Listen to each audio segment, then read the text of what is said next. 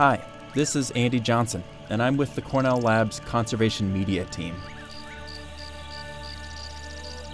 You're looking at one of the most enchanting and vital ecosystems on our planet the salt marsh of the Atlantic coast.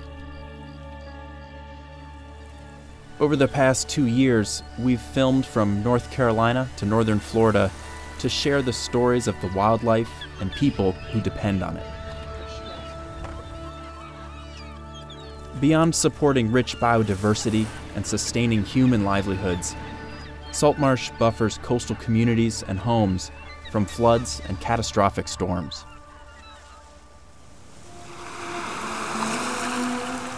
But this landscape is also under threat. Along the Atlantic coast, expanding development and rising sea levels are pressing in on these narrow habitats and local communities from both sides.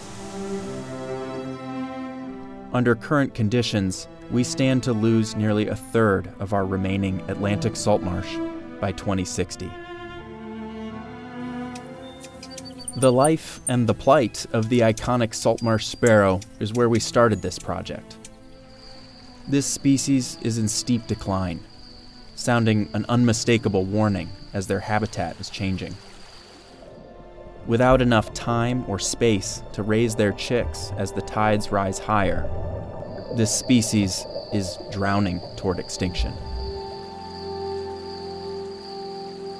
But while the data is clear, there's still hope for their future.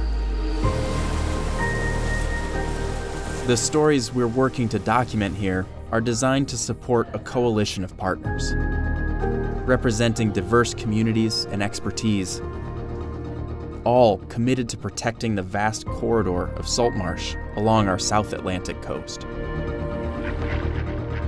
The Cornell Lab has been able to support initiatives like this around the world we've helped galvanize real conservation action and policy. And we're committed to doing that again here, from North Carolina to Florida, where it's urgently needed.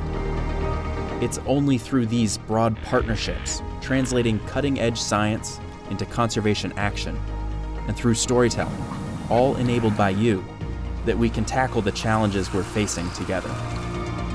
Thank you for making all of that possible.